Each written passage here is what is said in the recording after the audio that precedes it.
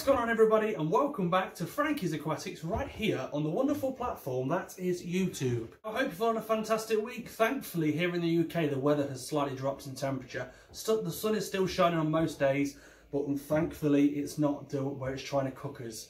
It's not that horrible heat that's going to smother us. It's quite a nice tepid heat and thankfully it doesn't require me to do a bazillion water changes a day. So it's been a very very good week for me indeed. I hope you've had a fantastic week too. Let me know down below in the comments what you guys have been up to and I'll get back to you all as soon as I can. Now this week's video we're going to look at little things and little tips that we're going to need, things that are very easily forgot that we're absolutely going to need to help look after our axolotls. There's a lot to the hobby and you learn a lot as you go but these things will hopefully give you guys a little bit of a shortcut on the little tips and tricks and the things that you will need to better look after your axolotl. It's because if you don't notice the angle's a little bit different, you can kind of see me at the side there, that's a bit weird. Hello. I've got, I'm on a really, really squeaky floorboard, look. You hear it?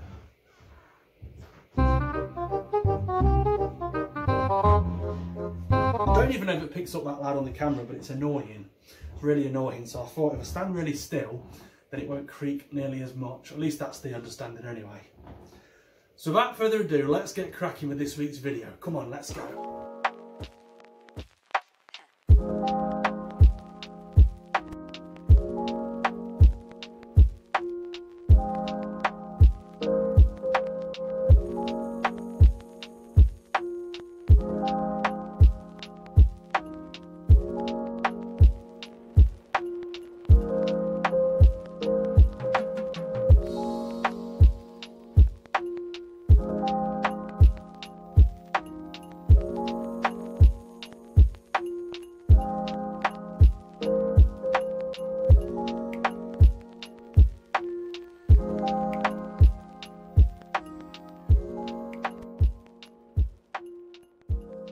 So the first item is a fairly obvious item, but it's one that everyone tries to forget that they actually need. You're going to need yourself a water test kit. These things are like your little science kit, and everybody, this is the brand in particular that I use, not sponsored in any way, shape or form. This is the API Freshwater Master Test Kit. It's the one I've used for everything that I've kept for many, many years, and it's by far, in my opinion, the best on the market right now. It's not the cheapest by any stretch, but it does everything that you need it to do. So your pH, your ammonia, your nitrite and your nitrate can all be kept and monitored with one of these. And believe me, it is actually quite fun when you get the hang of it. So don't be tempted to cut any corners, you will absolutely need one of these. Obviously you don't have to buy this particular brand. There are various different brands available, but this is the one that I recommend. There is test strips that are made by API as well. Um, I don't really have much experience with those. I think I used them once on a temporary basis while I was waiting for one of these to arrive and they give okay readings. They're not, they're not the best for being most accurate. So that's why you'll do a lot better with a water test kit. So yes, definitely invest in one of these. I keep doing that a lot, don't I? I'd be really good at puppeteering, I would, wouldn't I? I'd be really good at it, look. We, we, we're so in sync with each other. now, obviously, you need one of these to make sure that your water is good and your tank is actually cycled. There's no real way of testing your water or having any kind of understanding of your water and its parameters if you haven't got one of these or something similar. Um, it's just playing the guessing game. So please don't ever cut corners. Always invest in a water test kit. It might be a little bit, a little bit daunting to begin with, but I can absolutely assure you it'll, it'll be very much worth the investment because you'll be an absolute little scientist in no time. So make sure you get yourself one of those. Next product is a water conditioner. It might seem like a really obvious one yet again, but this is something that people say, oh, you know what, I've been doing it for years.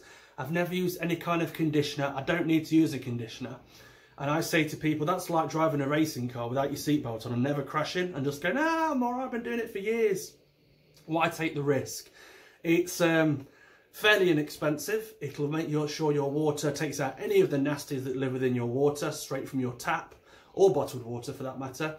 So any kind of, it removes chlorine, chloramine, it removes all the nasty stuff that hides in there that can cause upset to your axolotl or any other fish for that matter. So make sure, again, not sponsored by any products here at all, but this is the one that I use. It's the Seachem Prime. It's just one that you can trust. I know people are going to be going, it's not Seachem, it's Seachem, but I call it Seachem, and that's the end of that. So this is the one that I use personally. Really good stuff. It absolutely stinks like the dog's trumped. It's just rotten. It really, it really is rotten. Is there's no there's no there's no avoiding how bad that stinks. Not even joking. It's rotten, but it's really good, and you don't need to use a lot of it either. So a big bottle like this, which is um, Whew, my eyes are still watering. So a big bottle like this will last you a long time if you haven't got a collection of axolotls. And even if you have, much like myself, it still lasts reasonably long. Not quite as long as I'd like it to for the price, but it's not bad. So make sure you invest in some sort of water conditioner. Now the next product is going to feel like a really obvious one. We're going to state it anyway because not a lot of people decide to use these, but you're going to need a good feeding pellet. Now obviously axolotls enjoy bloodworm and they also like earthworms or night crawlers but all they're not always going to be available. There's going to be quiet spots throughout the year where you're going to struggle to maybe get them. So it's really good to invest in a really good, high quality, high protein feeding pellet. Now these are, I buy these locally from a company who provides food for farms and zoos and rescue centres and stuff like that. So it's a locally sourced pellet. Now the only reason I use this particular pellet smells like gravy granules. It's lovely. The only reason I use this particular pellet is because it is cost effective. I have a lot of mouths to feed and to feed other products that are on the market, it just doesn't warrant the price tag. These are just the same in quality. I just buy them in huge quantities, but make sure you invest in a very good feeding pellet. The ones I recommend to everybody are Arcadia and Golds. They're fantastic. There's not very many axolotls out there that don't like those. They're a little bit tricky to source though, depending on where you are in the world. And there's also NT Labs feeding pellets, axolotl feeding pellets. I did a little bit of a collaboration with them a few videos ago, and I've got to say the products are holding up. They're doing great, and my axolotls really enjoy them too. So make sure you invest in a nice little feeding pellet. Just for those rainy days when you haven't got worms and bloodworms to hand, the feeding pellet will be your saviour. It'll be like Superman flying in. Fantastic stuff. Now the next one it's good to have on hand, it's a bit like having a first aid kit. It's medications. So things like this, I always recommend this to people as well. It's API Melafix. It's a really good product, a little bit pricey if I'm completely honest for what it is. It's basically an extract from tea, so it's tea extract. It's really good. Um, this bottle here just costs just less than £10 here in the UK, so it is a little bit expensive, but it's really good for bacterial infections or any kind of blemishes or gill or fungus issues. It's the kind of thing that I hope to never have to use, but I always have it about. You'll always see it around just in case I do need it. You'll probably see I don't think I've even used that one yet. I'm pretty sure it's a brand new bottle. So it's really good to have, really handy to have. Now people do use other things than this. Usually, if you catch a fungus or a scrape or anything like that soon enough, a nice balanced water change will absolutely help correct it. So you won't need to jump straight for the medications. Don't be too hasty and going straight in for a medicated route. Do try nice cold dechlorinated water because that will usually clear up anything like fungus, um, any kind of scrapes or nips or anything like that, that will eventually heal with good water. It's about keeping your water right. But people do like to use products like this, so this is the one that I personally recommend. Again, it's API Melafix. You'd think so, I was sponsored by these, wouldn't you? But they are a good brand to be fair. So there's these, and people also use things like salt. I have a tub of salt. I've never ever once had to use this for any axolotls.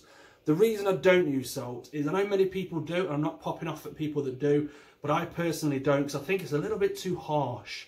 I think it's a very unforgiving treatment. It's salt at the end of the day. Um, axolotls are very absorbent. They absorb things. I don't think it's greatly good for them to absorb too much salt extract. So I do. I would use this if I needed to, if an, if an infection was out of control, and um, I felt it was the only option that I currently had. But if I'm perfectly honest, I'd always go for that over this. Just personal preference. I'm not having a go if you've used this, good on you. But again, I'm personally just using medication rather than this. You can also do tea baths, which is very similar to this, but on a weaker scale. Because again, this is extracted, this is tea extract. It's technically what it is. It's an antibacterial treatment. And very much tea baths do work in a very similar fashion, but on a more, a more lower, low-key scale. So whatever you do, just make sure you've got something in to hit if those rainy days ever do come, such as funguses and stuff like that. Make sure you've got things on hand that'll obviously help you care for your axolotl. The last thing you want to happen is you wake up one morning to notice a fungus and you haven't got anything like this at hand if it got really out of control. Always keep them in. It's a bit like us having a, medi a medical kit or what's the word? First aid kit, not a medical kit. I'm not in Tomb Raider. It's always good to have the tools that you'll need at hand. So do keep an eye out and have these in at all times. I've got a few extra things that I just added in there just to kind of have that make things a little bit easier for the keeper. Uh, they're not essentials by any stretch, but the things that I use on a daily basis that I find that help me in keeping my axolotls happy and healthy. So we're going to quickly do a quick fire round. I'm not going to talk too much about the products. So without further ado, let's take a little look at those two. Might seem really obvious, but you're going to need a towel or two. You're definitely going to need a towel. Um, as you know, you're messing around with water day in, day out, you're going to make some spills. Done my fair share of them over the time. And towels are the best friend that you could have in regards to quickly wiping up the mess so the missus don't see. It's a great little tool to have. So make sure you have plenty of towels on hand. I have a collection of towels that I constantly rotate because as you can imagine, a little bit of a spillage, you pop it on, you dry it off, and it soon begins to stink. So make sure you've got plenty of towels at hand because they will come in handy. Another one that I always recommend is a turkey baster. Uh, mine's a bit wonky for some reason. Um, oh. Okay, um, try and just turkey baster. Let me just try and fix this. Turkey baster, there we go. So you're to need a turkey baster. Now, you don't obviously need a turkey baster, but these are really good. If you see any unspotted food that's not been eaten, you can obviously quickly go bob in. You can remove it nice and quickly without causing a scene. You can also clean up any poop as and when you see it, so your ammonia doesn't spike out of the window. And for some reason, it's got really bright over here all of a sudden. It's like glaring in my eyes over here. What's going on? Sunshine, be gone. Yes, a turkey baster will be like a lightsaber to one of those Jedi's in Star Wars. Vroom, vroom. It's an absolute blessing. So make sure they're very inexpensive, but for some reason in the UK they went a little bit scarce for a while, or at least they did in Derby where I'm from. Couldn't get hold of them. So every time I see a turkey base, out of habit, I buy them. I'm like, I'll have them all. I just buy the lot. So if I'm contributing to the problem, I apologise. But do get yourself a turkey baster. Next product is one of these, which is quite simply a rolling pin. Um, you actually don't need one of these for any reason whatsoever in regards to look after an axolotl. I just need one to keep the internet trolls in check. the next products are cleaning equipment. So these are really handy. These are obviously designed to wash your pots with. Um, obviously I don't put soap in the handle, it's like a little dispenser where you can pop some soap. I just use it as a scouring brush and it's really good for getting in those little places that you can't get quite easy with a sponge. So um, for example, if you get any algae build up, that's great for that. And it helps keep your aquariums in check and helps them looking brand new all the time. You can also use one of these. You don't know if you know what one of these are. Um, there's two reasons for this, and I learned at the new reason myself the other day. But let me explain. So you've got this side, so this does actually rotate, and there's a razor blade in there. And I use that to scrape the algae off the glass, or as the, as the Americans like to call it, algae. Um, Really little clever design, really good. I also use that to remove the, the paint off the back of my tanks recently. I used the razor blade on that for that purpose too. You can still see there's a bit of blue in there, look. Really good, really good thing. Again, not essential, but it will definitely help you out in regards to keeping the algae at bay. Now, this side of it is actually a very clever little technique. So that's got a little like, hook on it there, look. You see it? It's a little hook. And I, I recently learned that that's actually to help embed your plants. So if you use live plants, what you can do is you can pop them into your substrate and you can actually use that to push the roots in with and kind of bed it in a little bit better without you getting your fingers involved. So it's a really clever design and I didn't know that myself until just recently and I've got to be, I've got to say it's come in really handy ever since I've learned that. So yeah, that's a little design that you can use, very, very helpful very inexpensive and it will save you quite a bit of time in the process too and a lot less elbow grease. And the last product kind of ties into the first product. I was recently, um, I recently reached out to a company who do 3D prints, who make all different array of different things. And the guy's called Sam, he's called Sam 3D. Sam 3D. Um, and he politely sent me this for an honest review and I've used it a couple of times and I must say it's brilliant. Let me tell you what I'm talking about. So this little device here is designed for your test tubes from your water test kit. It's all labelled, I don't know if you can see it, all labelled on what, what stands where. And they're a really nice fit. It's really good. And I must say, it makes my life a lot easier. Because with the test kits, with the test kits, you get these little tubes, which are great, but they don't come with any kind of stand to pop them in. So when, you, when you're doing as many as I am, you're forever misplacing these, or even worse, standing on them.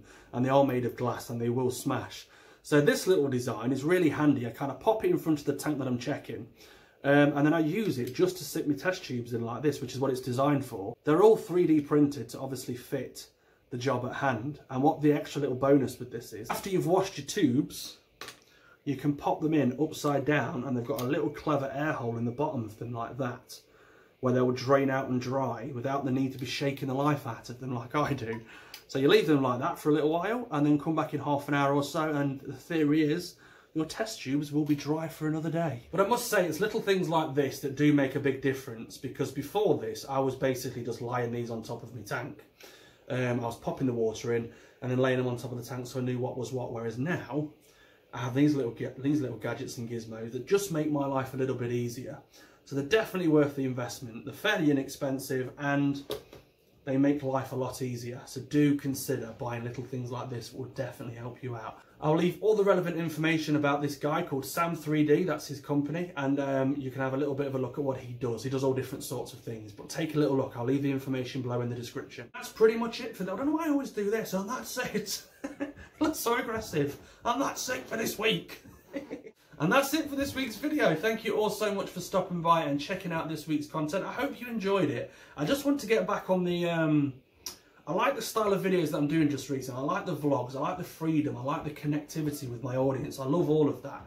But I want to give really good advice. If you ever find a little trick that I think will help you guys in regards to keeping your axolotl, I'm absolutely going to share it. So little things like this are things that slip your mind. I've probably missed a few things off, to be perfectly honest. There's probably more things out there that can make the hobby a little bit easier and a little bit less taxing on the old body. So I will definitely do more future videos like this. But I hope you enjoyed it, so thank you very much for stopping by and checking it out. Now, if you haven't done so already, please be sure to hit that like button. It just lets me know that you enjoy the content that I'm producing. Also, hit the subscribe button because it'll help you keep you in the loop when I upload again. And also ding the notification bell. And until next time, ta-ta for now. I would just like to say a huge thank you to my Frankie-lotls, the amazing people that go and support me over on Patreon. Now, if you'd like to get yourself involved, you will find all the relevant information you'll need directly below. I don't want to tidy up. I don't want to do it.